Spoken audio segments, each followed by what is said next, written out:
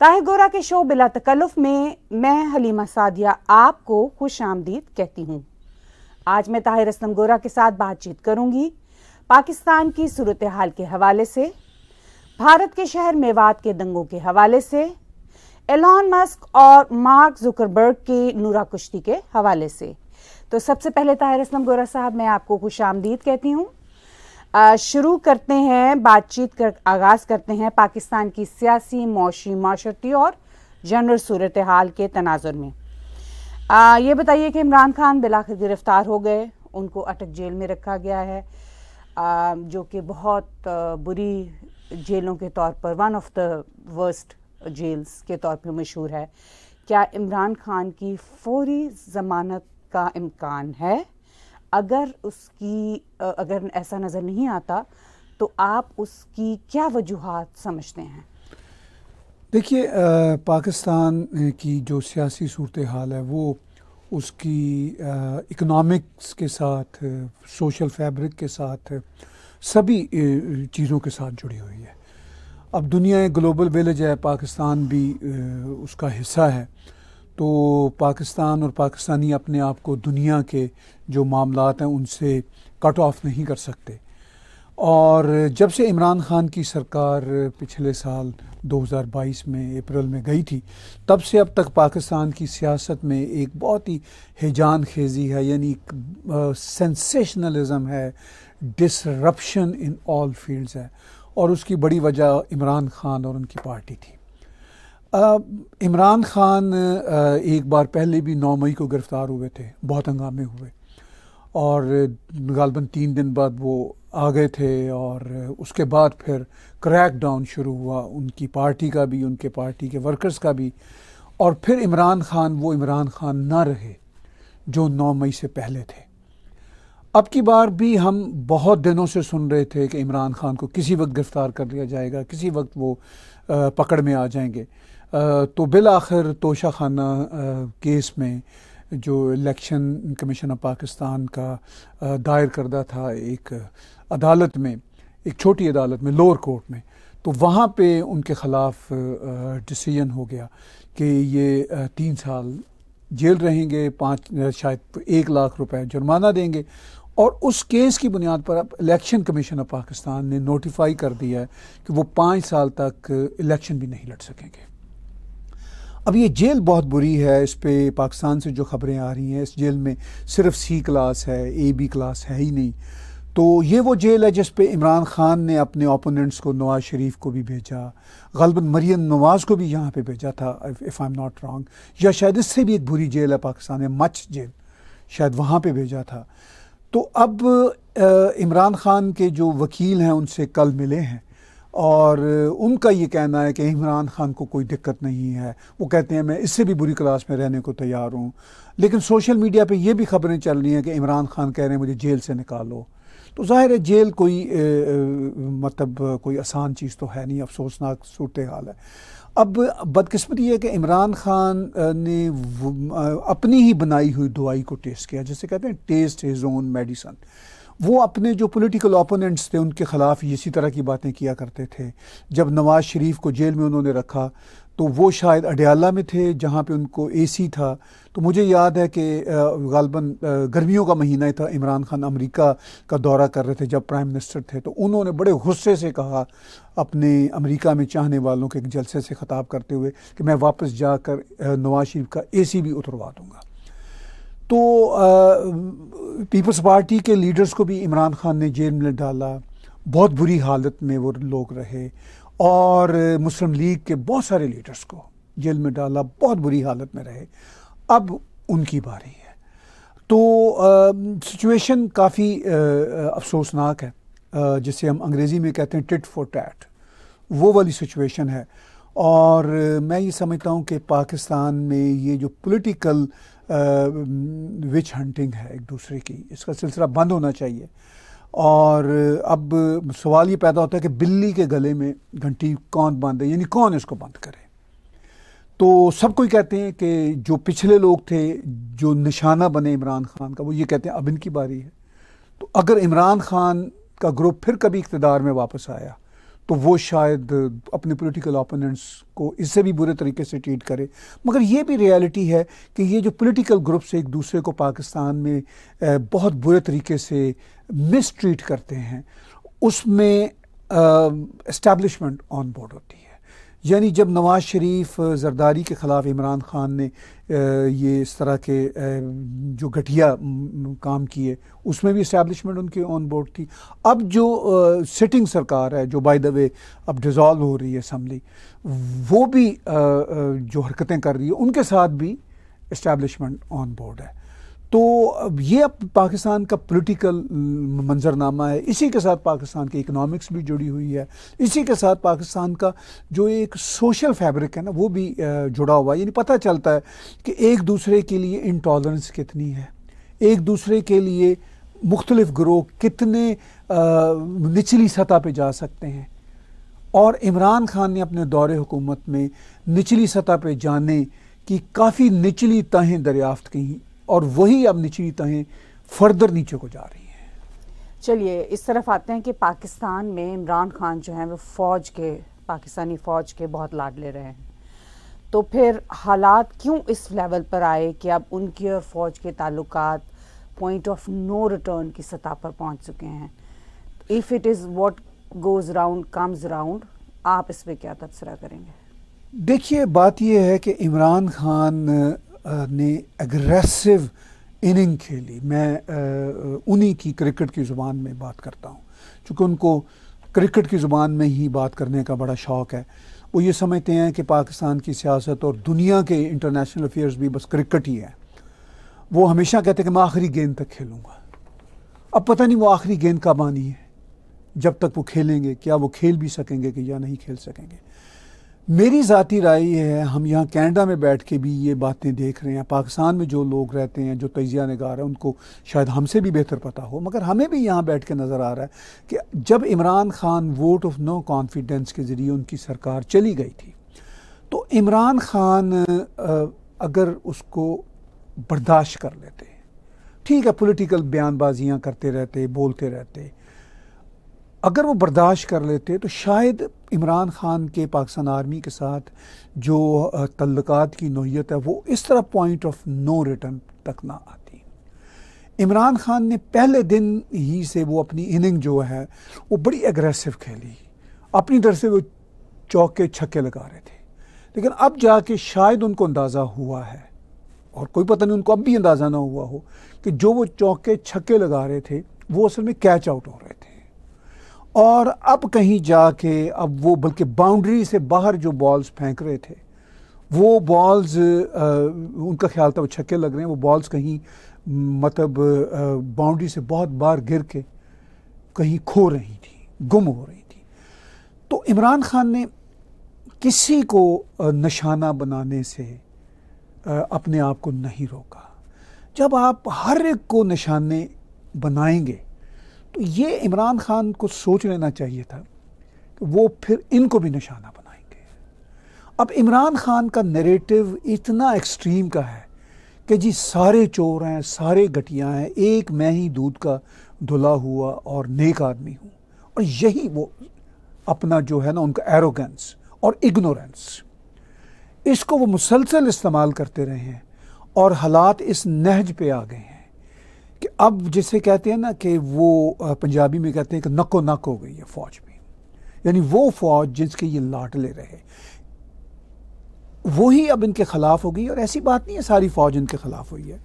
असल में फौज के अंदर इन्होंने डिवीज़न बड़ी खौफनाक क्रिएट की, जिसकी वजह से 102 सीनियर फौज के ऑफिसर्स फायर हुए। ये कुछ छोटी बात नहीं है, बहुत बड़ा वाक्य और ये जो फ़ौज की, इस वक्त की इस्टेब्लिशमेंट की जो लीडरशिप है, यानी जनरल आसम मुनीर और आईएसआई के हेड और बाकी जो लोग हैं, वो इतना जिच हो गए। या उनको इमरान खान ने पॉइंट ऑफ़ नो रिटर्न पे इस हद तक पहुँचा दिया कि अब वो इमरान खान को छोड़ेंगे नहीं। लेकिन पाकिस्तान में ऐसा पहली बार नहीं हो रहा। जब नवाज़ शरीफ के साथ 2018 में ऐसा हुआ, इमरान खान को फ़ौज इकतदार में लाई तो लगता था कि नवाज़ शरीफ के साथ भी अब फ़ौज, जैसे कहते हैं पॉइंट ऑफ़ नो रिटर्न पे आ चुकी है। और वो नवाज़ शरीफ के साथ पहला वाक़ नहीं था, वो तीसरा वाक़ था। तो इसलिए हमें समझ आती थी कि शायद नवाज़ शरीफ की फिर रिटर्न होगा। अब इमरान खान के साथ पॉइंट ऑफ़ नो रिटर्न पर apparently point of no return पर पहली बार आए अब सब, अब सवाल ये पैदा होता है कि क्या इमरान खान भी नवाज़ शरीफ की तरह या जरदारी खानदान, भट्टो ख़ानदान की तरह अपनी पॉलिटिक्स को रिवाइव कर पाएँगे और फिर फ़ौज के साथ अपने बंधन कायम करने में कामयाब हो पाएँगे? क्या इनमें इतनी सलाहियत है जितनी शरीफ फैमिली या भट्टो फैमिली में है? मुझे लगता नहीं है, लेकिन सियासत में कुछ कह नहीं सकते। हो सकता है कि इमरान खान अपने आप को बदलें। और जिस बैग पर, यानी जिन कुतों के सहारे पर, वो इतना गरूर और इतनी इग्नोरेंस का मुजाहरा करते चले आ रहे हैं। शायद वो अपने आप को रीविज़िट करें, अपने थॉट के को रीविज़िट करें और बदलें। अगर वो बदल सके और दूसरी तरफ़ भी हालात आइंदा कुछ सालों में ऐसे बन सके कि फिर इनको अकोमोडेट किया जा सका तो शायद वो बदल जाए। लेकिन इस वक्त वाकई ही इमरान खान और पाकिस्तान आर्मी की लीडरशिप एटलीस्ट अगर पूरी आर्मी ना भी हो कि लीडरशिप के बीच जो तल्लकात हैं वो पॉइंट ऑफ़ नो रिटर्न पर ही नज़र आते हैं। चलिए पाकिस्तान में पीडीएम की हुकूमत अपने टन्योर को ख़त्म कर चुकी है और निगरान हुकूमत मार्ज वजूद आने वाली है। आ, इस पूरी सूरत हाल के अंदर क्या आप देखते हैं कि इलेक्शन वक्त पर हो सकेंगे और निगरान हुकूमत कितनी लंबी होगी? आई थिंक ये दोनों रिलेटेड हैं कि जी, बिल्कुल। ऐसा ही है। देखिए पीडीएम की सरकार गालबन 12 अगस्त को इनकी टेन्योरशिप ख़त्म हो रही थी ऑफिशियली तो प्राइम मिनिस्टर शहबाज शरीफ जो एज़ ऑफ़ नाउ मैं और अब बात करें अभी भी वो प्राइम मिनिस्टर हैं, चूँकि अभी तक निगरान हुकूमत ने कोई हलफ नहीं लिया, कोई इवन नाम भी सामने नहीं आए। शायद अगले चंद घंटों में नाम सामने आ जाए। तो पीडीएम की सरकार ने चूँकि ऐलान कर दिया कि हम 9 अगस्त को चले जाएँगे और पाकिस्तान का टाइम कनाडा से कोई 10-12 घंटे आगे है तो शायद कुछ घंटों में निगरान हुकूमत के नाम सामने आ जाएँ। लेकिन उनके नाम सामने आने से पहले, यानी कन्फर्म्ड जो भी केयर टेकर प्राइम मिनिस्टर होंगे केयर टेकर कैबिनेट होगी उनके आने से पहले ही ये इंडिकेशन सिटिंग पीडीएम की सरकार ने दे दिए थे कि अगले जो इलेक्शन है वो शायद 90 डेज़ में ना हो क्योंकि उन्होंने सेंसस को यानी जो मरदमशुमारी हुई है उसकी वजह करार दी है। चूँकि इलेक्शन कमीशन का कहना है कि अगर हमें नई मरदमशुमारी के तहत इलेक्शन कराने हुए तो हमें मज़ीद वक्त चाहिए। तो आ, उसमें पाकिस्तान कि ये जो पीडीएम की सरकार है, जो अब चंद घंटों में जाने वाली है होपफुली इनके मिनिस्टर ऑलरेडी ये कह चुके हैं पाकिस्तानी मीडिया पर इंटरव्यूज़ देते हुए कि अब शायद इलेक्शन फेबररी मार्च में हो जाए। तो ये एक एक जैसे जस्टिफिकेशन है या एक बहाना है इलेक्शन को डिले करने का। और हो सकता है कि आने वाले महीनों में इस्टेब्लिशमेंट को और निगरान हुकूमत को और बहाने मिल जाएँ। और चूँकि इसमें जो इंपॉर्टेंट बात है वो ये कि निगरान हुकूमत की पॉलिटिकल कॉस्ट कोई नहीं होती। फ़र्ज़ कीजिए अगर शबाज शरीफ कोई ऐसे फ़ैसले करते आईएमएफ के हवाले से फॉरेन पॉलिसी के हवाले से आ, मुल्क के अंदर के हालात के हवाले से तो उनको आगे इलेक्शन में वोट कम मिलते या कोई इशू होता, अब निगरान हुकूमत अनपॉपुलर फ़ैसले कर सकती है। जो इस्टेबलिशमेंट चाहे, जो इंटरनेशनल स्टेक होल्डर चाहें, जो निगरान हुकूमत को सूट करता हो, क्योंकि उनको इस बात की फ़िक्र नहीं होती कि हमने तो अगला इलेक्शन लड़ना है, हमें आवाम को खुश करना है। वो मतलब अपनी मर्ज़ी के फैसले कर सकते हैं, क्योंकि उन्होंने अगला इलेक्शन नहीं लड़ना। बेशक उस निगरान हुकूमत में पॉलिटिकल एलिमेंट्स भी हों पॉलिटिशियंस भी हों मगर उनकी पॉलिटिकल पार्टियों की इन्वॉल्वमेंट भी हो, लेकिन फिर भी उनकी पॉलिटिकल कॉस्ट ना होने के बराबर होती है।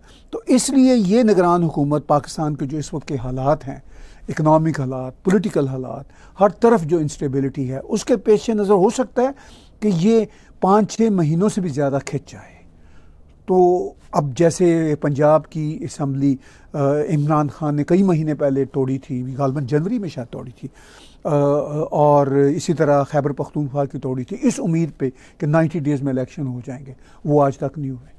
और वो इलेक्शन भी अब फेडरल गवर्नमेंट या फेडरल इलेक्शन एक्चुअली कहना चाहिए उसके साथ ही होंगे, जब भी कभी वो हुए। तो इसका मतलब यह है कि इस बात की कोई गारंटी नहीं है। जो पाकिस्तान के हालात हैं, उनकी रोशनी में, जो उनके आइन में कॉन्स्टिट्यूशन लिखा उसके मुताबिक ही हो। ये अब जो निगरान हुकूमत है इसकी ड्यूरेशन कुछ भी हो सकती है यू नेवर नो भारत की स्टेट हरियाणा की डिस्ट्रिक्ट मेवात में। पिछले दिनों होने वाले दंगों की खबर पूरी दुनिया में फैली। वहाँ की लेटेस्ट सिचुएशन पर अपना तबसरा कीजिए प्लीज़ देखिए वो सिचुएशन काफ़ी अफसोसनाक है मेवात की। और उसमें बताया जाता है नूह का जो इलाका है एक वहाँ पे मेवाती मुस्लिम्स की जो पॉपुलेशन है वो सेवेंटी टू एटी परसेंट है। काफ़ी पसमानदा इलाका भी है। और वहाँ पे शायद शायद नहीं, यकीनी तौर पर जो हमें ख़बरें मिली उनके मुताबिक गालबन दो हफ़्ते पहले वहाँ पे एक हिंदू धर्म का एक जुलूस निकला जिस पे जो ख़बरें हमें आई उनके मुताबिक वहाँ पे कुछ मेवाती लोगों ने हमले किए। फिर कुछ ऐसा रिएक्शन भी हुआ कि एक मस्जिद पर हमला हुआ और एक यंग इमाम मस्जिद जो हैं वो भी मारे गए। आज मैं देख रहा था भारत के अखबार ही मीडिया भी देख रहा था कि वहाँ पर आ, कोई हिंदू महापंचायत है उनका कोई इजलास हुआ है। जिसमें बहुत सारी ऑर्गेनाइजेशंस बहुत सारे जो गाँव हैं आसपास के उनके लोग शामिल हुए हैं। उन्होंने ये ज़ोर डाला है Mewati community Mewati Muslim community पर कि आपने इमाम मस्जिद आ, के आ, की हलाकत में पाँच या छः शायद हिंदू लड़कों को नामजद किया हुआ यानी उनके ख़िलाफ़ एफ़ आई आर कटवाई हुई है वो वापस लें। आ, फिर उन उस महापंचायत में ये भी कहा गया कि ये आ, हम आप की कम्युनिटी का बाइकआउट करेंगे। और ये खबर बीबीसी हिंदी उर्दू में छपी है। और मुझे बीबीसी हिंदी उर्दू की जब मैं ख़बरें पढ़ता हूँ तो मुझे ये अंदाज़ा होता है कि वो उनका अपना वर्जन होता है। अगर हम भारत के दूसरे मीडिया को देखेंगे तो उनका अपना वर्जन होता है। तो सिचुएशन काफ़ी अभी भी वहाँ पे टेंस है।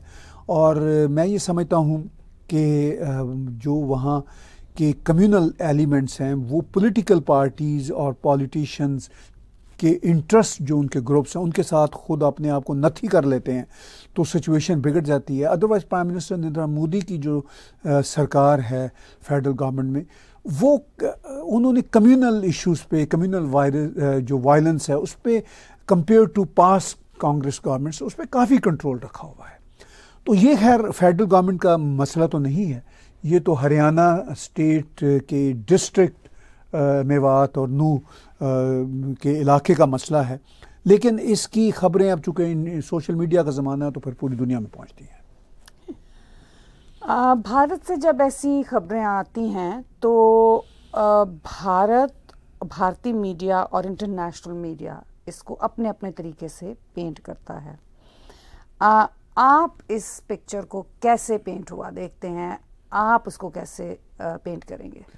देखिए, मैं तो उसी तरह पेंट करूँगा जिस तरह की खबरें हमें मिल रही हैं। एक तो मेरी जो सिचुएशन को पेंट करने की है, जैसे मैंने अभी बताया कि इस वायलेंस इन राइट्स पे भारत के अंदर से जो डिफरेंट मीडियाज़ हैं और भारत के अंदर जो इंटरनेशनल मीडिया बैठे हुए हैं, वो अपने अपने एंगल से अपने अपने पॉइंट ऑफ़ व्यू से इस सिचुएशन को पेंट कर रहे हैं। मैं यहाँ पे टैग टीवी कनाडा के स्टूडियो में बैठे हुए उसको उनकी जो पेंटिंग्स हैं डिफरेंट डिफरेंट तरह की, उनको मैं सिर्फ़ पेंट करूँगा। मैं जैसा मैंने अभी पीछे कहा कि जब बीबीसी की कोई ख़बर आएगी तो वो अपने इंक्लिनेशन के हिसाब से, अपनी लेफ़्ट लीन इंक्लिनेशन के हिसाब से करेंगे। बीबीसी हिंदी हो बीबीसी उर्दू हो, वहाँ पे जो उनके रिपोर्टर हैं, उनकी ख़बरें हम पढ़ते रहते हैं, सुनते रहते हैं। तो वो उनकी ख़बरों के स्टाइल का हमें अंदाज़ा है कि वो किसी न किसी तरीके से भले से ये हरियाणा स्टेट के एक डिस्ट्रिक्ट का इंसिडेंट है वो इसको भारत की, की जो केंद्र सरकार है यानी जो फेडरल गवर्नमेंट है उसके साथ जोड़ देंगे और किसी न किसी तरह वो उनको इसका कसूरवार करार देंगे। भारत का जो जो मीडिया है जो भारत की सरकार को सपोर्ट करता है वो फिर अपने एंगल से इसको पेश करेगा। तो हम तो कनाडा में बैठे हुए हर तरह के मीडिया की जो पेंट की हुई सिचुएशन उसको देखते हैं। फिर हम कोशिश करते हैं कि हम एनालाइज करें। जो सरकमस्टांसेस अब सरकमस्टांसेस ये हैं अनफॉर्चुनेटली कि भारत में आ, इस तरह के जितने sort of quote unquote communal issues हैं जो कि मैंने अभी कहा बीजेपी की सरकारों के ज़माने में नस्बता रिलेटिवली बहुत कम है। तो इस सारी सिचुएशन में रिलेटिवली स्टैट्स और फैक्ट्स में कम होने के बावजूद जो बीजेपी की सरकारों के मुखालिफ लोग हैं वो वो बढ़ा चढ़ा के पेश करेंगे। और जो सरकार का हामी मीडिया है भारत में वो उसको दूसरे एंगल से पेश करेगा। तो आ, उन दोनों की पेंटिंग्स को देखते हुए मुझे ये लगता है कि ये जो सिचुएशन है ये अब सोशल मीडिया की वजह से ज़्यादा एम्पलीफाई हो। अदरवाइज़ भारत में इस तरह के वाक़ात बहुत संगीन, बल्कि इससे ज़्यादा संगीन बेतहाशा होते थे, अब कम होते हैं। इसका मतलब ये नहीं कि ये ये अगर हुआ है तो चलिए इसकी खैर है, ये नहीं होना चाहिए। किसी सूरत नहीं होना चाहिए। लेकिन मेरी ये ख्वाहिश है कि ख़ास तौर पर जो हमारी मुस्लिम कम्युनिटीज़ हैं, भारत में जो हैं वो ज़रा थोड़ा सा अपने रवैयों को थोड़ा सा और मॉडर्नाइज़ करें, बदलें और रिफॉर्म्स करें और ये मतलब धर्म से ज़रा बाहर निकल के सोचें कि भारत देश जो है, वो उनका फ़र्स्ट एंड फॉरमोस्ट देश है। उस हवाले से देखें और उस हवाले से देखते हुए अगर वो फिर जो दूसरे ग्रुप्स हैं, जो फिर रिएक्शन शो करते हैं, उनके साथ बैठ के बातचीत करें। क्योंकि ये सारी बातें जो हैं ये जो दंगा फसाद है इन सब का सलूशन टेबल पे बैठ के ही होता है। अदरवाइज़ इसका कोई और सलूशन नहीं होता। यूँ लगता है कि दुनिया को अब सोशल मीडिया जो है वो रूल कर रहा है। तो आ, अभी हाल ही में एक्स ट्विटर वाली एक्स कंपनी के मालिक एलॉन मस्क और एक्स फेसबुक वाली मेटा कंपनी के मालिक मार्क जुकरबर्ग ने एक कुश्ती लड़ने का ऐलान किया। तो क्या आप इसको नूरा कुश्ती समझते हैं? हाँ मैं तो यहाँ पे वो अपने जो व्यूर्स हैं, ख़ासतौर पर भारतीय व्यूर्स शायद कुछ ना जानते हों कि नूरा कुश्ती होती क्या है। नूरा कुश्ती पाकिस्तानी पंजाब में जहाँ से हम हैं, वहाँ पे ये बहुत असलाह बरती जाती है। नूरा कुश्ती का मतलब होता है फिक्स मैच सॉर्ट ऑफ़ कि जी ये मैच फिक्स है। और उसमें ये होता है कि ये दिखावे की कुश्ती है, ये झूठ मूठ की कुश्ती है, ये झूठ मूठ की रेसलिंग है यानी ये फिक्स मैच है। तो इसमें जो जो आप कह रही हैं कि क्या ये नूरा कुश्ती है तो वो वाकई ऐसा ही लगता है, चूँकि सोशल मीडिया पे एलॉन मस्क ने जो उनकी पुरानी जो जिसको हम अब एक्स ट्विटर कहेंगे, जो अब उसका नाम एक्स है, हम उसको एक्स ई एक्स वाली कहेंगे एक्स ट्विटर अब उसका नाम एक्स है। तो उसमें भी उन्होंने इजहार ख्याल किया, उन्होंने कहा कि मेरी ज़रा कमर ठीक हो ले तो मैं मार्क जुकरबर्ग के साथ कुश्ती करूँगा। तो मार्क जुकरबर्ग जो हैं, उनके बारे में कहा जाता है कि वो मार्शल आर्ट्स के माहिर हैं।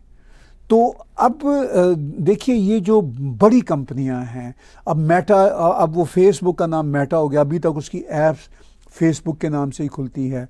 उनका इंस्टाग्राम भी है।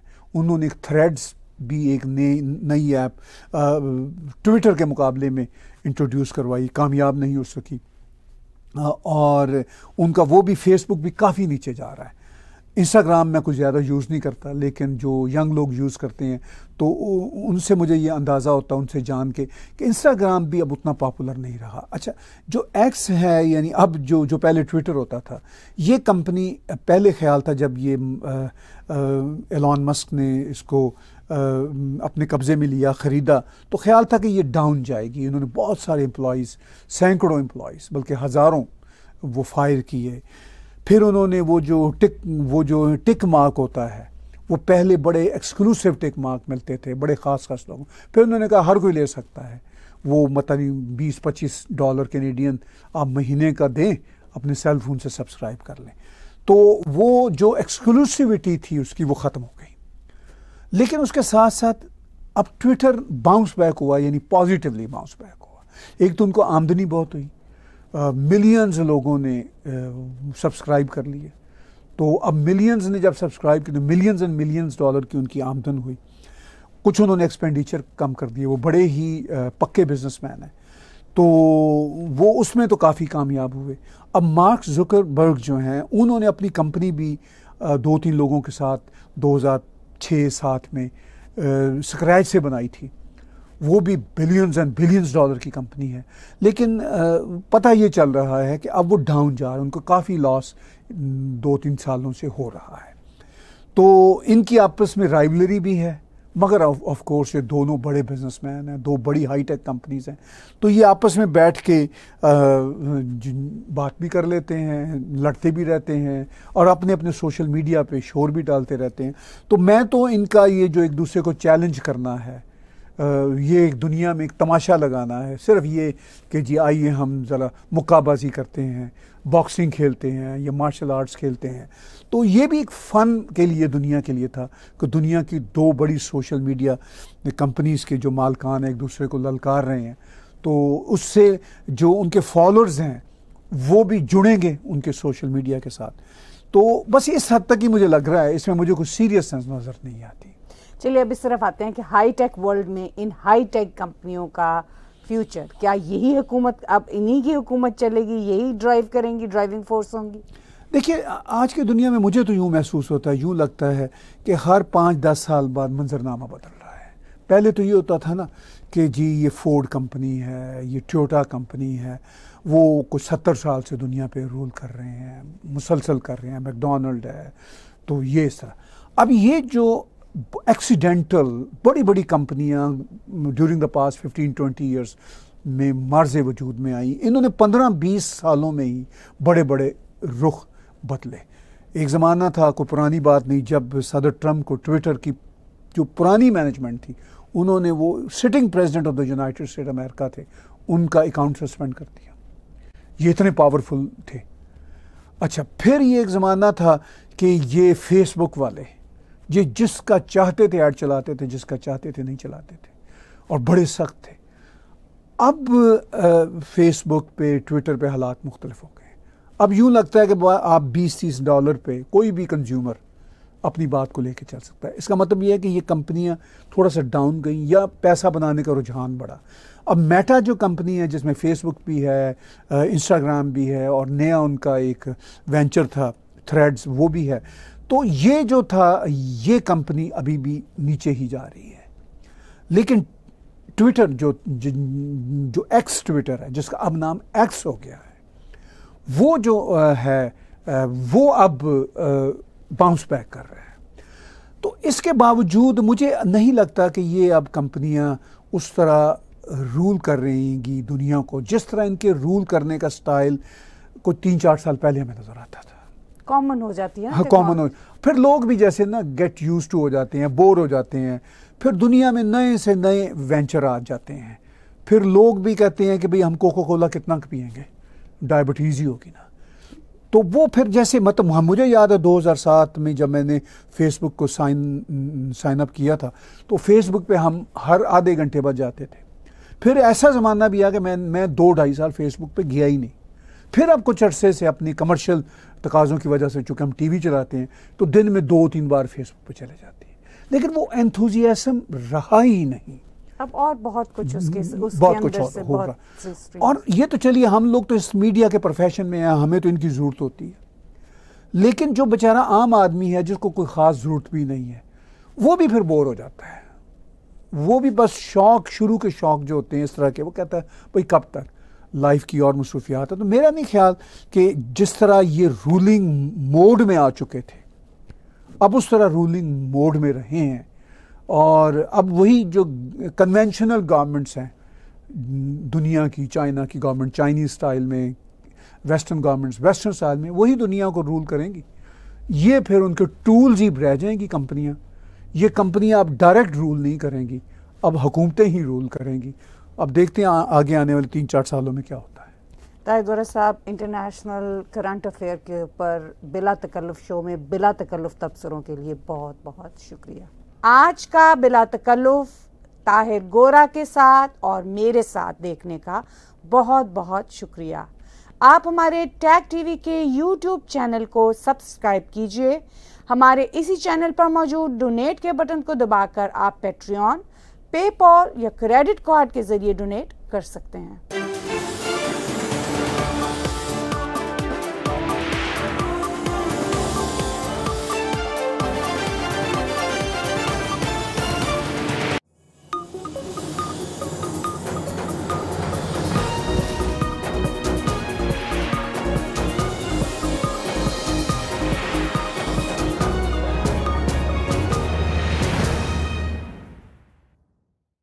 Subscribe TAG TV YouTube channel and press the notification button.